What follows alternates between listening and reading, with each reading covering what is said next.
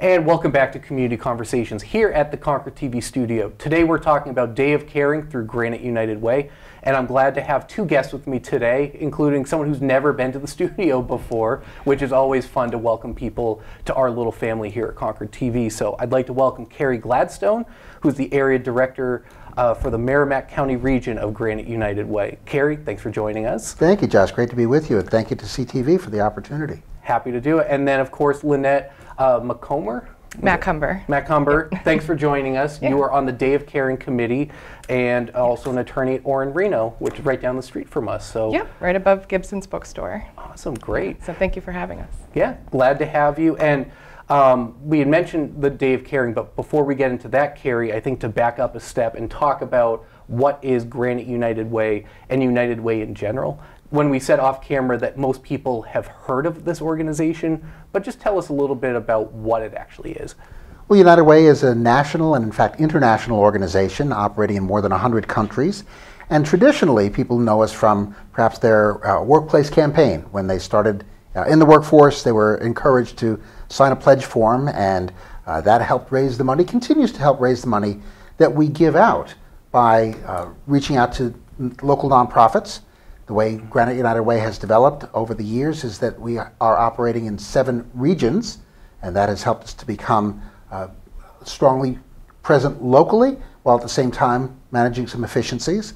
Granite United Way is actually the largest United Way in New Hampshire, serving okay. uh, parts uh, or all of eight out of 10 New Hampshire counties, as well as Windsor County, Vermont, because the Upper Valley is part of Granite United Way, and Yep. that, that's the way they do business in that part of the state and across the river into Vermont. Okay. Well, that's a good background for us, and I think that segues into the Day of Caring, which is coming up in September. And um, if you could tell us a little bit about what that or that event entails, the purpose of it, because I think we have a lot of organizations and potential volunteers who'd love to know more about this. Absolutely. United Way has worked with nonprofit organizations for, for, for decades, and we also work very closely with, with the business community. And so uh, we want to make sure that business people are involved in their local community. And this is a one day opportunity through Day of Caring where people can put together a team of volunteers from their office. They spend a day or a half day working on local projects, gets them out of the office, gets them a chance to meet some of the local folks who run nonprofit organizations that are meeting critical needs within our community. So we, we now have an understanding of what the, the Day of Caring is, but getting back to the business community and that tie-in. So Lynnette, you're an attorney at Orr and Reno, you're on the committee for Day of Caring. How did that all come to be, your involvement with this? Yeah, so as uh, so often happens, um, I'm stepping into the shoes of someone at my firm who was do, was on the Day of Caring committee. Um, but Orr and Reno has actually been involved in the Day of Caring for I think several decades now, Okay. or at least as long as Day of Caring has been going on. Yep. Um, and and with Granite United Way generally. Um, Yeah. And so over time, a lot of attorneys from Orr and Reno have been on the committees and the boards of United Way and. Um, one of the founding pillars of our firm is, is community service and giving back to the community. So I was very excited to have this opportunity to get out in the Concord community. I recently moved back up into the area, so Okay. I'm excited to get involved. Well, welcome back to the Thank you. area. And what a crash course uh, for anyone looking to get involved, to understanding more about their community, right? Working with other community organizations. So it's a great it's a great partnership. And and also kudos to Orr and Reno and other businesses who have that as part of their core. You know that they're not just a business; they are in our community. So I really appreciate when groups do that. Thank So, you. Um, and tell us a little bit about your role in the on the committee or, or what goes into that. I know I've attended one of the committee meetings recently on a communication side, but um, and this could be for either of you. What goes into being on the committee that puts an entire event together like this? I know there's a lot that Cary does that I, that I don't even see on the committee. Um, Yeah, yeah. But my role is is reaching out to organizations in the community to see if they'll um, make a donation of food or gift cards or just some kind of um, way to support Day of Caring. Mm-hmm. Um, so we're contacting all you know Concord local businesses um, to see if they'll provide some support. And then also um, at Orr and Reno, I'm getting a group together of volunteers to register for Day of Caring on September 20th. Okay. Is, is that easy or hard? Uh, there's different personality types, kind of picking up the phone or sending that email asking for you know, help us with this in-kind support? Or is, it, is that is that difficult for you to do, or is that easy because you're used to talking to people you don't know? is, is, that just something that comes naturally, or? I think, like you said, uh, being an attorney does help because I have to um, talk to people I don't know all the time. Um, yep. But and it comes easy because the community is so caring. Um, they make it very easy. I think businesses businesses in Concord are, are very approachable. Everyone's been very receptive, um, and I know there's been a ton of support in the past um, for Day of Caring each year. So we do have a lot of recurring um, partners and sponsors. Yeah. That is kind of a hallmark of Concord, where it's sort of a, if you ask for help, people will be there to help. Exactly. Um, and Concord has lived up to that during my time here, and I think it's that's been a reputation for quite a while now. Where if you ask for help, there will be organizations that provide that support. So I think that's huge. Cary, do you agree with that sentiment? oh well? yes, and particularly in the legal community. I mean, that was one of the things that I learned when I first came to Concord and, and was involved in another organization. and Was told, you know, the law legal community is, is very responsive and uh, very much involved in, in you know, sitting on boards and committees uh, rolling up their sleeves, involved in fundraising. And uh, Day of Caring is a perfect example of that because it gives folks an opportunity, uh, as Lynn, sitting on the committee, helped organize the upcoming Day of Caring. There are other folks who may just say, it gives me you know, three hours out painting the, the community room at a local social service agency, or it could be you know, a, a three-year term on the board of directors. Uh, so there are great volunteer opportunities that we want to uh, really tap into the folks who really know that we can we can go to them, and uh, yeah. they're always saying yes. Right. So there's kind of in terms of who supports and participates, it's really based on people's availability or I guess expertise to, to a certain degree. But if people have a few hours to give or many hours to give, there's an opportunity for anyone, right? And so I guess that leads to sort of my next question, which is for Day of Caring, what, give us some examples of who are some of the sites that are participating, some of the businesses participating, and, and who takes part in an event like this, especially it's all over the state, but using Concord, for example. Well, the short answer is anyone and everyone who yep. uh, has a nonprofit organization that has needs is encouraged to sign up. So we'll be uh, doing work at the uh, Merrimack Valley Daycare, just across the street from where we sit. Uh, at the, at, in Chichester, the Live and Let Live Farm. Yep always is a, a participant with lots of opportunities for folks. If you go around town on that day, you'll see some folks doing cleanup around the rocket that sits outside the uh, Shepard McAuliffe Discovery Center, yep. as well as uh, just a, a, whole host of, any, uh, of groups.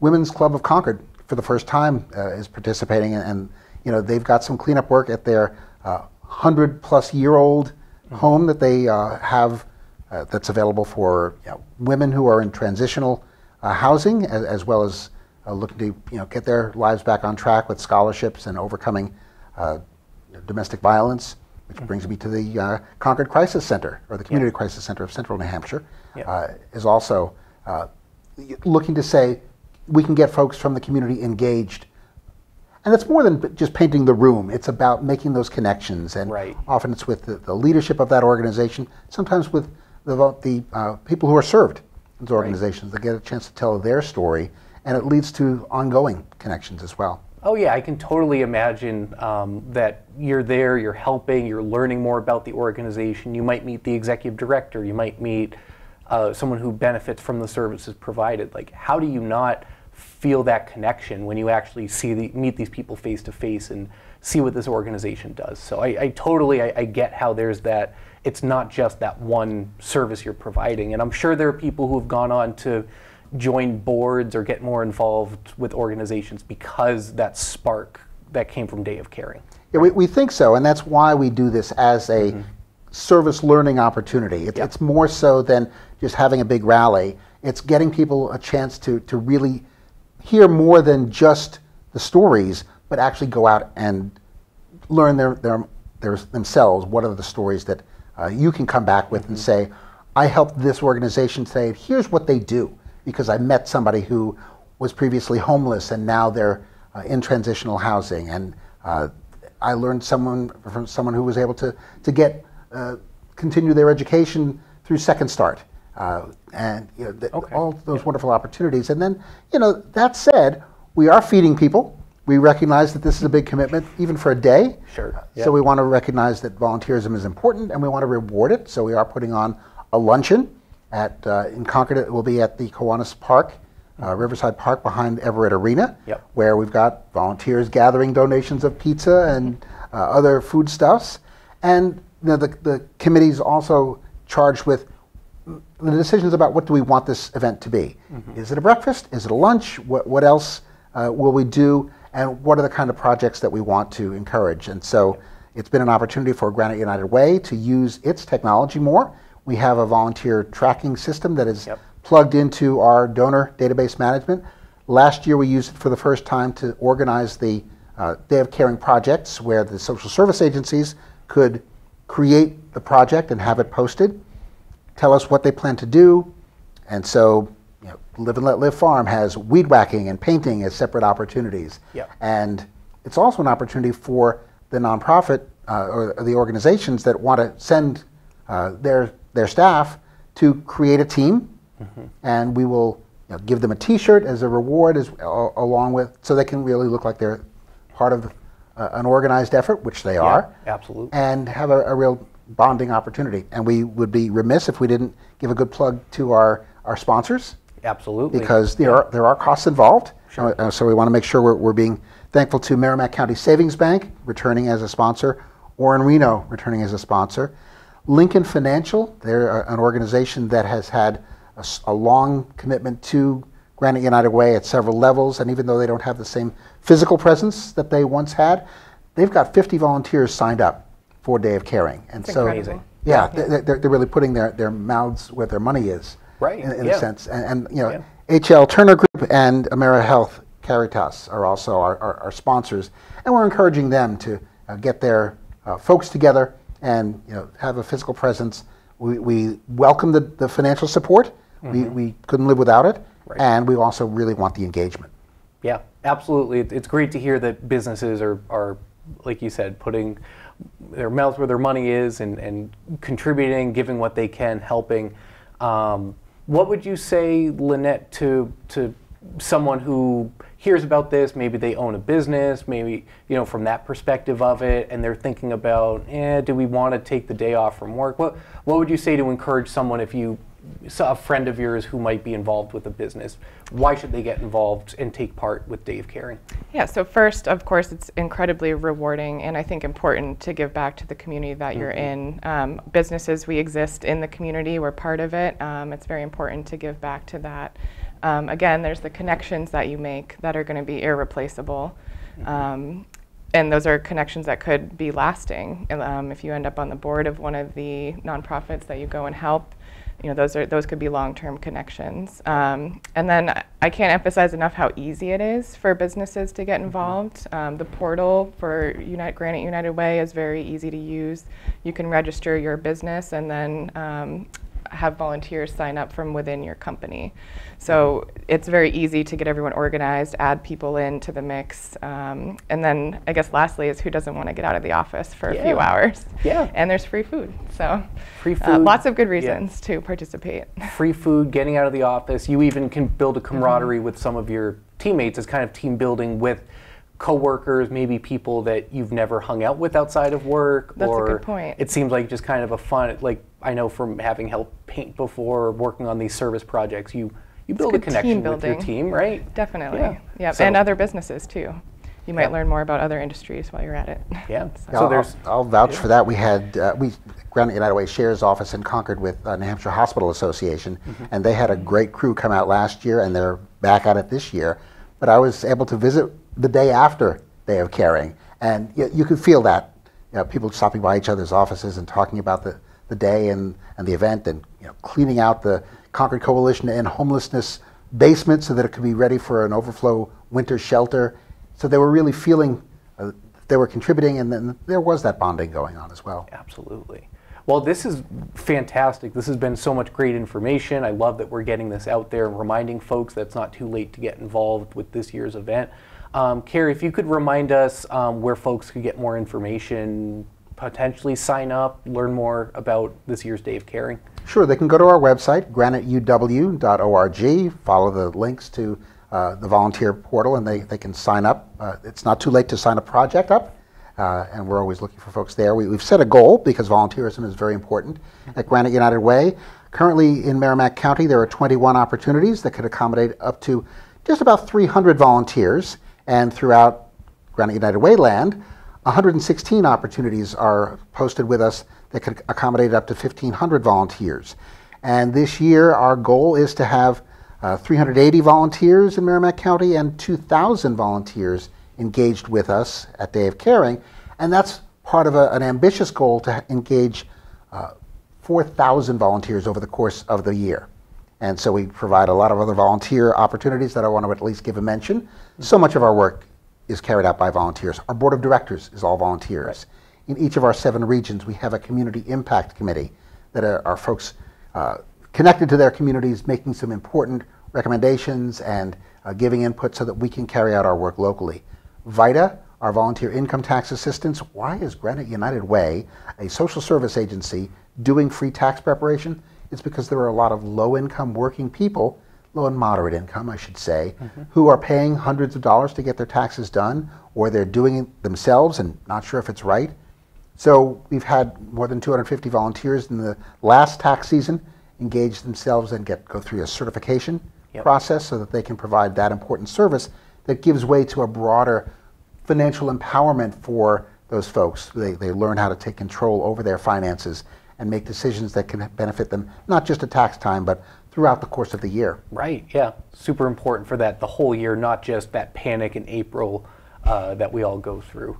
So, any other, um, I think this has been really comprehensive. Is there anything else that you wanted to share um, something we didn't have a chance to cover because I this is your chance. You're talking to the Concord community. Anything else that you wanted to get out there um, before we wrap up today's program? Yeah, I'll just mention projects that still need volunteers in Merrimack County include the Live and Let Live Farm, Fellowship Housing, uh, the Concord Coalition to End Homelessness, and I mentioned the Women's Club of Concord, uh, among uh, 15 organizations so far that have contributed uh, 21 opportunities for folks to sign up and, yep. and give of themselves learn a little bit and make a connection in the community. And I'd just add, I know we are in Concord and Merrimack County, but we all have friends in other counties and, and, regions in New Hampshire, and so encourage your friends also to sign up for Day of Caring in the other the other counties and regions. Well, thank you, Cary. Thank you, Lynnette, for coming in, telling us about it. Of course, Concord TV, we're so committed to doing what we can to help amplify the voices of volunteerism, of the United, Granite United Way. Um, it's a huge part of our mission and kind of an important part of what keeps Concord and the whole state of New Hampshire um, going so strong and to get even stronger. And we thank you for that. Yeah, thank you very much. Thanks. I really appreciate that. And thanks to everyone for tuning in to Community Conversations. We'll see you next time. And don't forget uh, to please subscribe to our YouTube channel. Also, subscribe on Apple Podcasts and Spotify. Let us know if there's an organization you want to hear from or if there's a topic you want us to discuss, because really, um, if you have an idea, we'd love to hear it. Until next time, thanks for watching.